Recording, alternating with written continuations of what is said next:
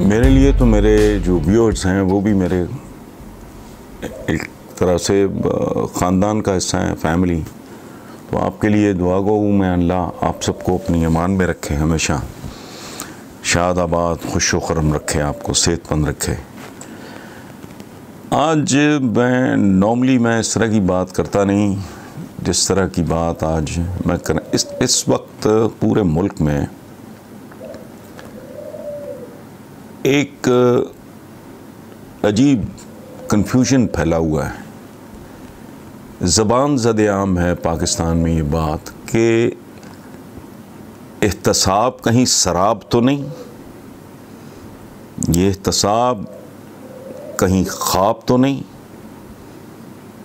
जो अपने मनतकी अंजाम की तरफ़ से जा रहा है, जिसका मतलब है कि ये खिलवाड़ था, एक धोखा था, एक फरेब था, एक ड्रामा था, नौटंकी थी।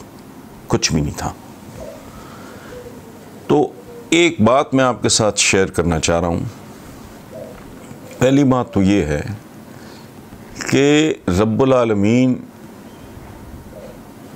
कहते हैं, सत्तर माओ जितनी मोहब्बत करता है अपनी मखलूक से, मुझसे, आपसे, हम कितने भी गए गुजरे हों, गुनागार हों, सत्तर माओ जितनी मोहब्बत। एक माँ की मोहब्बत मान नहीं। तो सत्तर मौक लेकिन रब्बुल आलमीन ने जो रहीम भी है, करीम भी है, रहमान भी है, सिफात का अंदाज़ा ही कोई नहीं। तो रब ने भी सज़ा और जजा का बंदोबस्त रखा है। ये खुदाई कानून है। अगर आप इसको रेप्लिकेट नहीं करते अप्लाई नहीं करते तो वो माशरे बर्बाद होंगे, तबाह हो। और तबाही ये नहीं होती कि बिल्कुल कोई आतिश फशां फट पड़ा, सारा कुछ गर्क हो गया, गारत हो गया। नहीं, ये मची हुई है तबाही। गरीब गरीब से, गरीब तर, अमीर अमीर से, अमीर तर छोटे छोटे बच्चों के साथ जुल्म हो रहा है, ज़्यादतियाँ हो रही हैं। ठीक है, भाई, भाइयों की ज़बानें काट रहे हैं और वो पेच का आँखें निकाल रहे हैं। अच्छा। सो अल्लाह पाक अगर मखलूक, अपनी प्यारी मखलूक, अपनी इतनी आला तख्लीक के बारे में भी सज़ा और जजा और जन्नत और दोजक का ये जो तस्वुर है मामूली बात नहीं है। सो ये कैसे मुमकिन है कि कोई इंसानी माशरा एहतसाब के बगैर किसी अजाब से बच जाए? अदम एहतसाब ने पाकिस्तान को अदम इस्तेकाम की उस इंतहा पे पहुँचा दिया है, जहाँ अच्छे खासे लोगों के लिए। एफ्लुएंट लोगों की मैं बात नहीं कर रहा, उनके शौक ऑब्जॉर्बर्स ज़रा ज़्यादा मज़बूत होते हैं। एक एवरेज अच्छी डिसेंट इनकम वाला बंदा भी, जिसकी लाख, दो चार लाख रुपया भी इनकम है उसकी भी ज़िंदगी अजाब होती जा रही है, ठीक? ये जो इतनी देर से इस मुल्क में नौटंकी चल रही थी एहतसाब एहतसाब एहतसाब अगर ये सब कुछ फेक निकला तो इस मुल्क में फिर वो लुट पड़ेगी। इस मुल्क को, बगदाद को तातारियों ने ऐसे नहीं लूटा, जैसे इस मुल्क को लूटा गया है।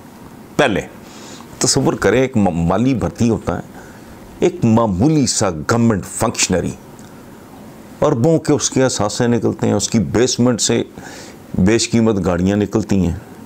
मैं बात कर रहा हूँ वो कराची वाला जो कायम खानी पता नहीं क्या था। रईसानी देख लें, बलोचिस्तान का। हम इधर के देख लें ब्यूरोक्रेट वो अरबपति, खरबपति से कम है ही कोई नहीं। अच्छा। दूसरी तरफ़ देखो आप, कब वो किताब लिखी गई थी एक्लीज हील रेमंड बेकर नामी, उसने कच्चे चट्टे खोल के रख दिए थे। नवाज़ शरीफ के बेनज़ीर के वे बैक मैं एक ज़माने में वो किताब टीवी पे दिखाया करता था। वो कोई किसी के अंदर गैरत है वो क्यों नहीं उसको जाके सू करते इस, इसके राइटर को? नहीं। परवाही कोई नहीं। बेशर्मी बेहयाई। ये लोगों के बच्चों को भूखा मारने वाली बात है। कोई लूट ले मुझे नहीं एतराज़ लेकिन उसके नतीजे में जो भूख पड़ती है उससे फिर जो जराइम जन्म लेते हैं प्रोस्टिट्यूशन पाकिस्तान में बढ़ रही है। अच्छा। वो कायम खानी और रईस खानी इनके अरब तो छोड़ें। वो सैकड़ों टीटियाँ अरबों खरबों रुपए की कोई जवाब नहीं है। अच्छा। डेली मेल इल्ज़ाम लगाता है। हमारे एक सबक चीफ मिनिस्टर पे कि इसने जलजला जदगान का पैसा खाया है। ये भाई साहब बड़े जोश जज्बे से कहते हैं मैं केस कर रहा हूँ मैं खत लिख फेक से खत इधर उधर लिखे वो मज़ाक उड़ा रहा है। पूरी कौम का इस मुल्क का मज़ाक। वो किधर हो? वो गोरा डेली मेल का कोई जर्नलिस्ट भी कोई इतना को नामवर नहीं है। मामूली सा पता नहीं कोई, कोई पार्ट टाइमर है फ्रीलांसर है क्या है? वो मज़ाक उड़ा रहा है।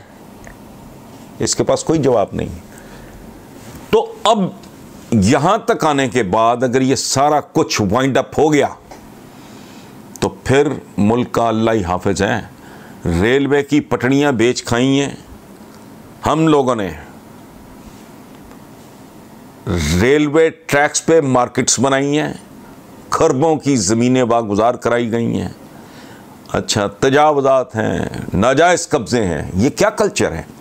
तो क्या अंजाम होगा फिर? एक ऐसे मुल्क का जहाँ एक वे ऑफ़ लाइफ एक वो कहते कल्चर ये वे ऑफ़ लाइफ करप्ट होने का इशू ही नहीं है। तो इस स्टेज पे यहाँ तक लाने के बाद अगर ये सारा कुछ रिवर्स होता है तो मेरे मुँह में खाक अंजाम बड़ा भयानक होगा। मैं आपसे,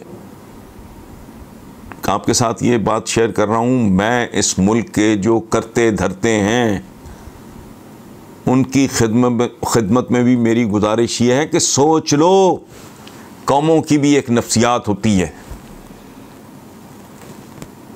फॉल ऑफ़ ढाका के बाद, ये अब, ये और तरह की बात मैं अर्ज़ कर रहा हूँ, फॉल ऑफ़ ढाका मशरक़ी पाकिस्तान के बांग्लादेश बनने के बाद लोगों के ईमान उठ गए, इस मुल्क के अफराद और इदारों से। ये तो मादा मुल्क यूँ गवा दिया, जैसे तो कोई खाली डबिया सिगरेट की इस तरह नहीं फेंकता।